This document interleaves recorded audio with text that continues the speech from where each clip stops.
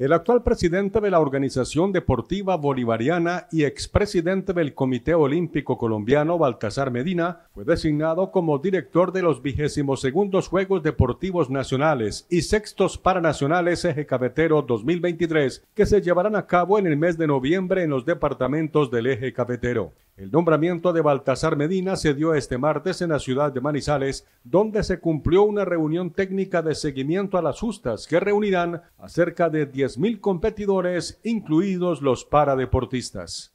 Y acabamos de terminar reunión con la ministra del Deporte, doctora María Isabel Urrutia. También estuvimos con los gobernadores del eje cafetero, Quindío, Risaralda, Caldas y también con los alcaldes capitales. Y tenemos una importante noticia para entregar ya tenemos director y subdirector de los Juegos Nacionales. Como director tenemos al doctor Baltasar Medina, quien ha sido director y presidente del Comité Olímpico Colombiano, ha estado también al frente del ciclismo de nuestro país durante 10 años y es un conocedor del deporte. Y como subdirector a nuestro apreciado karateca, campeón nacional, medallista además de oro, Andrés Rendón. Andrés como arquitecto ha venido liderando la infraestructura de los Juegos Nacionales en el eje cafetero y hoy pasa a ser el segundo, a ser el subdirector. Risaralda, Caldas y Quindío avanzan en la construcción y adecuación de los escenarios deportivos que servirán para el desarrollo de los Juegos Nacionales 2023.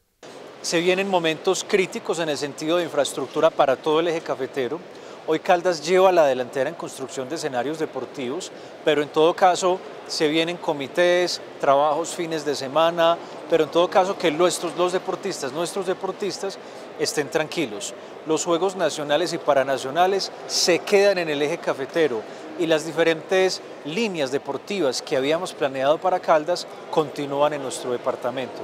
A trabajar, a construir los escenarios deportivos que nos faltan y en ese sentido todo el compromiso con nuestro nuevo director, doctor Baltasar Medina, y con nuestro subdirector, Andrés Rendón. La ministra del Deporte, María Isabel Urrutia, celebró el nombramiento de Baltasar Medina, al igual que la gobernadora del Valle, Clara Lu Roldán, quien publicó en su cuenta de Twitter. Excelente elección de Min Deportes Colombia y Departamento Sede. Gran dirigente y coequipero en Olímpico Colombiano cuando estuve en Coldeportes. Todo nuestro apoyo.